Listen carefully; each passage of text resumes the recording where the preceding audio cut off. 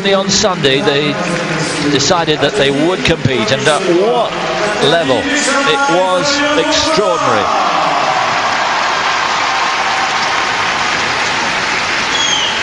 And uh, music that's fitting the time of my life because they did have the time of their life here on the podium at Worlds for the first time. Nathalie Péchalat, Fabian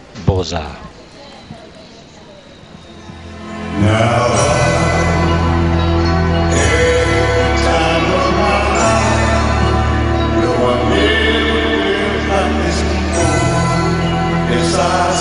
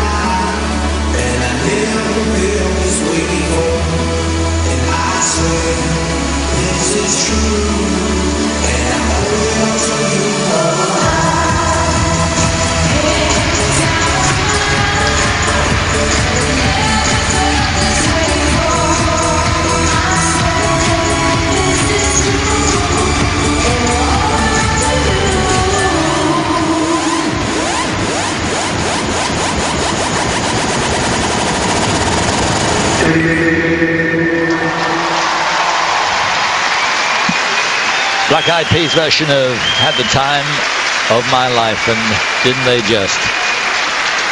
12 years they've been together. They must have wondered if it would ever happen for them, but it's finally opened the door. Double European champions, now bronze medalists at Worlds. Yeah, fantastic season, even with the injury. To come back when uh, your training gets hampered and the preparations aren't as you would like them for the biggest event of your life. And uh, I think, to be honest with you, they gave the performance of their life. They surely did. And all sorts of equations going on. That, you know, would they hold back? Would they eradicate the difficult moves that, that, that might make her nose vulnerable? Really difficult decisions to make, and they decided to go hell bent for it right the way through. Didn't hold back at all. No. I think once they made the decision that they were going to compete, I think they had to go all out, and they came out all guns blazing. Absolutely fantastic. A well-deserved bronze medal for these two.